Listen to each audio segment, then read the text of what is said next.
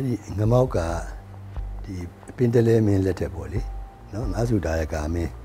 နော်အဲ့ဒီမှာဟို1023အင်္ဂလိပ်တက္ကရာဆိုရင်1661ခုနှစ်မှာဒီမိုးကုတ်ကနော်ဟိုမိုးကုတ်နယ်မှာပေါ့လေဒီငမောက်ဆိုတဲ့သူကတွေ့ပြီးတော့အဲ့ဒီဗမာငမောက်ကိုပြန်ပင်လဲမင်းကိုလာဆက်တာပေါ့လေဆက်တော့အဲ့ဒီဗမာငမောက်ကဘာလို့အဲ့ခေတ်တုန်းကဒီရနာ လာဒီရနာနေပြီဆိုတော့မိုးကုတ်တို့ဘာလို့အကုန်လုံးကဒါ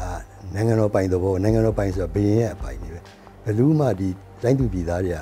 အပိုင်ဆိုင်ဖို့လည်းမစင်စားဘူးသူကလေဒီဟာသူတို့နဲ့လည်းမဆိုင်ဘူးဆိုပြီးအဲ့တော့သူတို့ကတွေ့တဲ့ခါကျတော့ဒါဘရင်လာဆက်တာပေါ့ဆက်တော့ဆက်တရတဲ့လူရဲ့နာမည်ကိုအကြောင်းပြုပြီးတော့မမောက်နော်ဗရမညာနော်ပြည်တံဗရမညာလို့လည်းခေါ်တယ်နန်းစင်ဗရမညာလို့လည်းခေါ်တယ်အဲ့ဒါကစဉ်းစားကြည့်လေ1661ဆိုတာ နော်ပါတော့တာ1885နော်အဲ့ဒီမှာဂျားထဲမှာအလောင်းမင်းတရားကြီးရဲ့ဟဲ့လားဟိုဟာရှိတယ်မင်းဆက်တွေရှိတယ်ဆိုတော့ဒီလောက်ထိထိမ့်သိမ့်လာတဲ့ဗရမ ्या ကိုယ်နိုင်ငံမှာတန်ဖိုးဖြတ်လို့မရတဲ့ဗရမ ्या ယတိ90ကျော်ရှိတယ်ပြီးတော့ဒီကုန်းသီးကုန်းသီးချမ်းပေါ့လေလုံကျော်နော်တချို့ကလည်းပြောတယ်ကြဲ့ဥအသေးစားလေးပေါ့လေဒီဟိုမှောက်ထားလိုက်ရင်အဲ့လိုအဲ့လောက်ရှိရပေါ့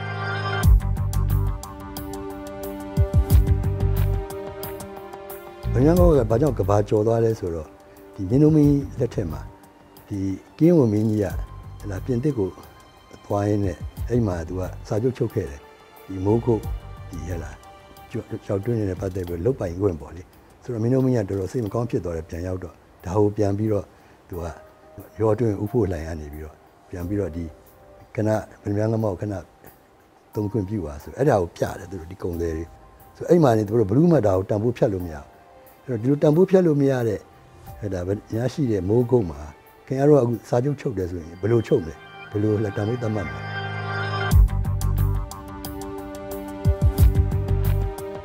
အကြတော့ဒီကြောက်နဲ့ပတ်သက်ပြီးတော့တိတာကတော့ဒီဗရမ ्या ငမောက်ကနော်ပြည်တန်နဲ့နော်ပြည်တန်နဲ့အပြင်ကြံတဲ့ကြောက်တွေကလည်းတန်ဖိုးရှိတယ်အဲ့တော့ဘယ်လောက်ထိသတ်မှတ်လိုက်လဲဆိုတော့ဒီကန်နစ်လေဒီယိုအားလိုက်ရတဲ့ပစ္စည်းတွေရဲ့တန်ဖိုးသတ်မှတ်ချက်ပေါ့ ဒါသုဒ္ဓသမီးတော်ကိုယ်တိုင်ကရေးထားတာရူဘီဂရီ9000အဲ့ခစ်ကပေါ့လေရူဘီဂရီ9000အဲ့ဒါကိုဥရောမနေ့ကပြန်တွက်ကြည့်လိုက်တဲ့ခါကျတော့ဟိုအခုခစ်နေဆိုရင်ဟိုခစ်ကရွှေစည်းနဲ့ပြန်တွက်ကြည့်အခုခစ်တန်ဖိုးကလောက်ဖြစ်သွားလဲဆိုတော့တန်900ပတ်ဝန်းကျင်လောက်ကိုရှိတယ်ရွှေတန်900တန်နော်ဒါလည်းတကယ်တကယ်တန်ဖိုးတတ်မှတ်လို့မရဘူးဒါပေမဲ့တန်ဖိုးတတ်မှတ်မှဖြစ်မယ်ဘာလို့တင်ပြတဲ့ခါကျတော့ငါတို့ပစ္စည်းကဘယ်လောက်တန်ဖိုးရှိလဲဆိုတော့ဒါပါထည့်ရမယ်ဆိုတော့ အဲ့မှာသရုပ်ရသမီးတော်ဒါမဖြစ်မနေလောက်ရမယ့်ခါကျအဲ့လိုတန်ဖိုးတတ်မှတ်လိုက်တယ်။တူနီတိုင်းပဲအရှင်တစ်ပါးပိုင်တဲ့ပစ္စည်းတွေကိုလည်းအဲ့လိုပဲတန်ဖိုးဖြတ်ရမယ်ဆိုရင်ဒါကဗရမယံငေါ့မှမပါသေးဘူးနော်။ကျန်တဲ့ယရနာပစ္စည်းတွေအကုန်လုံးကလည်းဂရီ9000ဆိုတော့ဒီနှစ်ခုပေါင်းလိုက်ရင်ပဲဟဲ့လားရွှေနော်တန်ချင်း1400လောက်ကိုပေါ့လေဒါကတို့နိုင်ငံပိုင်ဆိုင်ခဲ့တယ်ဆိုတဲ့ဟာကိုနော်ဒါအကုန်လုံးအများသိလို့သိရအောင်လေအခုအရှင်းပြတာပါ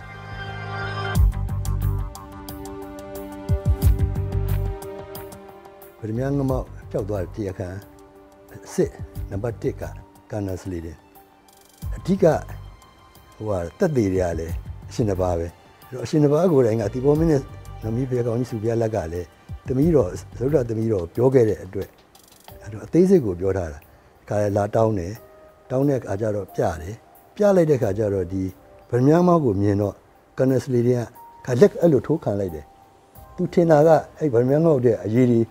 ထွက်ကြလာမယ်ထင်လို့လေအဲ့လိုသူကအဲ့လိုခံလိုက်တာတော့ခွန်းခွန်းလို့ပါခွန်းခွန်းလို့ပါပေါ့လေကျွန်တော်မြို့လိုလောက်ရတာအထက်အရေးကြီးအရေးကြီးထွက်ကြလာမယ်ထင်လို့ဆိုပြီးအဲ့ဗမာမောက်ကိုပြေးကြည့်တယ်ပြီးတော့အမျိုးမျိုးကြည့်ကျဲလို့နဲ့စကားရေးဟလာအမြင်မပြတ်ပြောပြီးတော့တော်တော်လေးကိုရှည်ပြီးတော့မေးလာအောင်ပြောပြီးတော့တခါလည်းမသိမသာအိတ်ထဲထည့်ပြီးတော့တခါလည်းထပ်ပြီးတော့အိတ်ထဲထည့်ပြီးထွက်သွားတာပေါ့သူထပ်ပြောနေသေးတယ်ပြီးမှတခါဟာတာဝန်နေရုပ်တဲ့တတိယလို့ဟာတာဝန်နေဟိုထမ်းဆောင်ရရှိသေးတယ် ဆိုတော့တတိမိပြီးတော့ယူရတဲ့သဘောနဲ့အဲ့ဒီကနောက်ဆုံးကနေစပြီးတော့ဒီအရှင်နှစ်ပါးကဒီဗနမအများငမောက်တော်၎င်းကန်နစလီဒီမှာလုံးဝမတွေ့ရတော့အဲ့ချင်း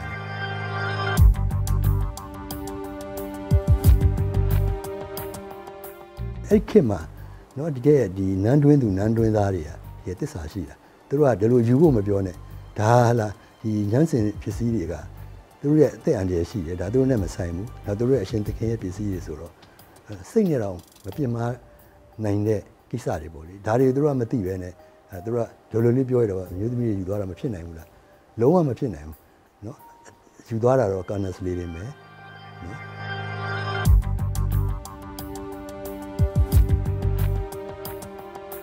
ဘူးတို့ဒီလန်ဒန်ကိုသွားတော့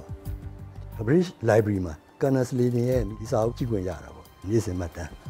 ကြည့်ခွင့်ရတော့အဲ့ဒီ29ရက်နေ့နိုဝင်ဘာလပါရောမူမဲ့အချိန်နော်အချိန်နော်ခေါ်သွားပြီးတော့နောက်ဆုံးအချိန်ပေါ့ဟလာဒီအဲ့မှာရေးထားတာလည်းဒီရဏပစ္စည်းနဲ့ပတ်သက်တဲ့အားလေးတွေပါတယ်နော်ရေးထားရင်းနဲ့အဲ့ဒီမှာဆိုရတဲ့သဘောကတော့ तू ယူထားလိုက်တယ်လို့ရေးသလားအဲ့ဒါ तू ကဘယ်လိုရေးထားလဲတော့မသိဘူးဆိုတော့ဒါပေမဲ့ဖြတ်ထားတယ်ဒါသူတို့ဖုံးကွယ်ထားတာပဲ ဘာဖြစ်လို့ဒါဖြစ်ရတာလဲဖြစ်စရာဘာအကြောင်းရှိလဲအကြောင်းရှိလို့ဖြစ်ထားတယ်ဆိုရင်အဲ့ဒီအကြောင်းကဒါကိုဖုံးကွယ်ထားခြင်းဒီလောက်ခိုင်လုံနဲ့တက်တည်ရှိမလားပေါ့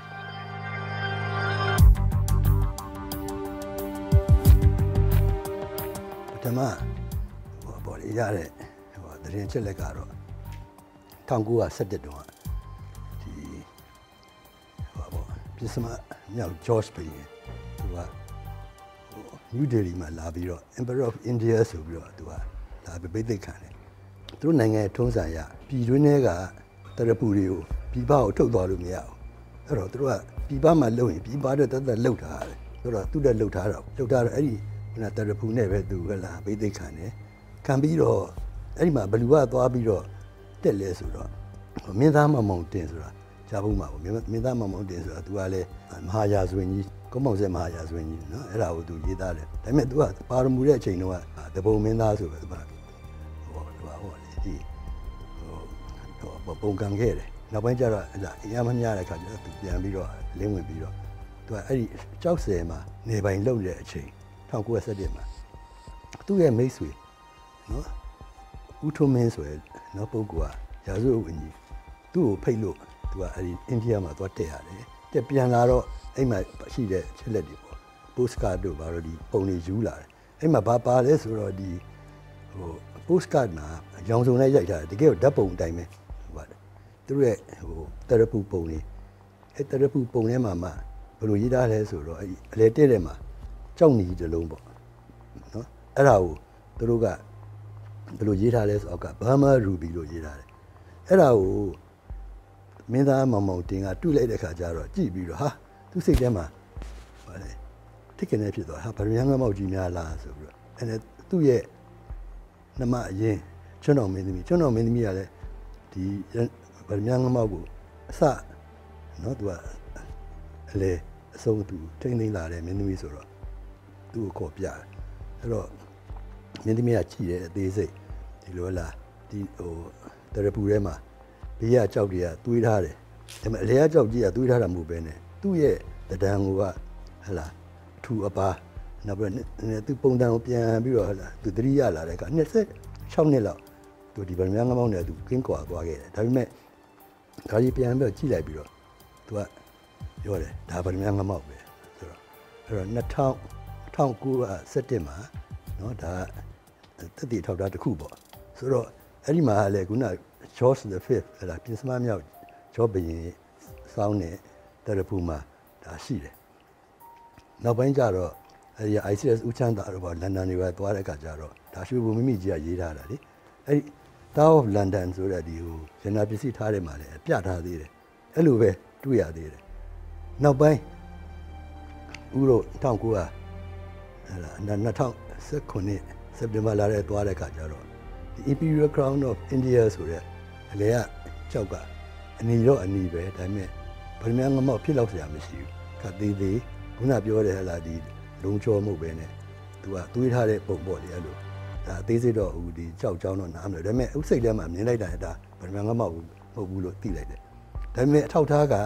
1917တုန်းကဒီထဲဒီနေရာမှာဒီတရဖူမှာအဲ့တော့သူတို့ကပြန်ပြင်ထားတယ်ဆိုတော့အဲ့တော့အဲ့ဒီဒီဗမာငမောက်ကနော်ဒီခုန Queen Victoria ကိုဟလာဘယ်မာကြီး Victoria ကို ကန်နစဒေရီကဆက်ခဲ့တယ်အဲ့တော့ဒီပစ္စည်းကလည်းတသူတို့စီမှာပဲရှိသေးတယ်ဘာကြောင့်လဲဆိုတော့သူတို့ကဒီလောက်တန်ဖိုးကြီးတဲ့ဥစ္စာကိုဟဲ့လားပြထားရင်ပြန်တောင်းမယ်ဆိုတော့ဆိုရင်စိတ်ရှိမယ်ထင်တယ်ဘာကြောင့်လဲဆိုတော့ဒီဟိုကိုဟီနိုစိန်ကြီးကြတော့ဒီဝင်ပြထားတယ်အဲကိုဟီနိုစိန်ကလည်းပြန်တောင်းတာကအရင်တော့ Indian Empire ရဲ့သုံးနိုင်ငံဖြစ်သွားတယ်နော်အိန္ဒိယရဲ့ဘင်္ဂလားဒေ့ရှ်ရဲ့ပါကစ္စတန် ဒါပေမဲ့ပါကစ္စတန်နဲ့အိန္ဒိယတော့ဆက်တောင်းနေတော့မယ်ဒါသူတို့ရဲ့ဒီနန်းစဉ်ဟိုပါပေါ့စိန်ကြီးဆိုပြီးတော့သူတို့ကလည်းတောင်းနေတယ်လို့မဦးတို့ကလည်းဒါခုနအခုလိုဒီလိုဟဲ့လားကိုယ့်ရဲ့ကျွန်တော်တို့အဖွဲ့တွေနဲ့ပြီးရင်တခါတဆင့်တဆင့်ပေါ့လေဟဲ့လားဒါဆက်တောင်းဖို့ပေါ့ဒါတွေအစီအစဉ်တွေရှိပါတယ်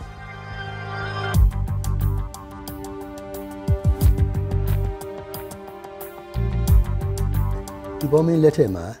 သူတာဝန်ကြီးခဲ့တယ်ဒီဘောမင်းကိုယ်တိုင်သူ့လက်ထက်ကပါသွားတယ်ဗမာငါ့ကိုသူကိုယ်တိုင်ပြန်တောင်းတယ်အိန္ဒိယရောက်တာနဲ့ကန်နစစ်စာရေးတယ်ပြီးတော့ဘယင်းစီစာရေးတယ်အဆင့်ဆင့်ပေါ့သူဟလာနတ်ပြည်ဆန်သွားတဲ့အဆင့်ထိသူအသက်ရှိတဲ့အချိန်ထိသူလုပ်ခဲ့တယ်သူတာဝန်ချေခဲ့တယ်နော်ဒီကနောက်မျိုးဆက်တဲ့သူ့ရဲ့သမီးတော်ဒုတိယမျိုးဆက်ပေါ့ဒုတိယသမီးတော်လက်ထက်မှာလည်းရေးတော်ပုံစာတန်းဆိုတာတရားဝင်ကိုထုတ်ပြီးတော့ဟလာဒီကနိုင်ငံဟလာပေါင်းချုပ်အသင်းကြီးစီအခုလို UN ပေါ့လေ League of Nation ကိုတင်ပြပြီးတော့ဒီလိုတောင်းခဲ့တယ်ဒါကြောင့်လည်းသူ့ကိုတပုံမင်းသမီးဆိုတော့မန္တလေးကနေပြီးတော့မော်မင်ကိုပို့လိုက်ရတယ်ပို့ခံလိုက်ရတယ်ပေါ့နော်ဆိုတော့ဒါသူ့ရဲ့ဟိုတာဝန်ကျေခဲ့ဒုတိယမျိုးဆက်တတိယမျိုးဆက်ဖြစ်တဲ့ဦးလိုဦးလေးတို့ရဲ့ဦးတို့ရဲ့ဒီဦးလေးတွေအတော်တွေကလည်းပြန်တောင်းခဲ့တယ်ဦးတို့ရဲ့မျိုးဆက်ရောက်ပြီနော်ဦးကစရုပ်ထမျိုးဆက်ပေါ့ငါလည်းအခုမြန်မာနိုင်ငံတော်ဝင်အမျိုးတော်များအဖွဲ့တွေဖွဲ့ထားပြီးပြီ Royal Crown Jewels Trust ဆိုပြီးတော့ဒါကိုပြန်ဖွဲ့ပြီးတော့တကယ်ကိုနိုင်ငံတကာရဲ့အကူအညီနဲ့ပြန်တောင်းမယ်ဒါကတမန်ပြတာဝန်လို့ပဲဥရယူဆတယ်ရှင်းပြောတယ်မရမချင်းဒါပြန်တောင်းနေရမှာပဲเนาะဘယ်လောက်ထိကြာသွားမလဲဒါတမန်ပြတာဝန်ပဲလေဥကတော့ရှင်းရှင်းလေးပဲပြန်စဉ်းစားတော့ဒီနေ့ပိုင်ရှင်မှန်စီပြန်ရောက်လာမှာပဲဘာဖြစ်လို့လဲဆိုတော့ဒါသူတို့မတရားယူသွားတာဗမာငမောက်တယ်မကောက်ချမ်းနဲ့ရနာပြည်စည်းအများကြီးပဲဒါတွေကသူတို့တနေ့ ပြန်ရမယ်ပြန်ရဖို့လဲသူတို့ကစူးစမ်းနေမယ်ဒီပစ္စည်းတွေကနိုင်ငံတော်နဲ့ဆိုင်တဲ့ဥစ္စာဒါတွေကဟဲ့လားတနေ့နော်သူတစ္ဆာဆိုခဲ့တယ်တနေ့လူမှန်နေရမှန်ဟိုပြန်ရောက်ရမယ်အခုကလည်းအဲ့တိုင်းပဲတစ္ဆာဆိုတယ်တနေ့ဒီမြန်မာနိုင်ငံကိုပြန်ပြီးတော့ဟဲ့လားရောက်မယ်လို့သူကဟိုလေယုံကြည်တယ်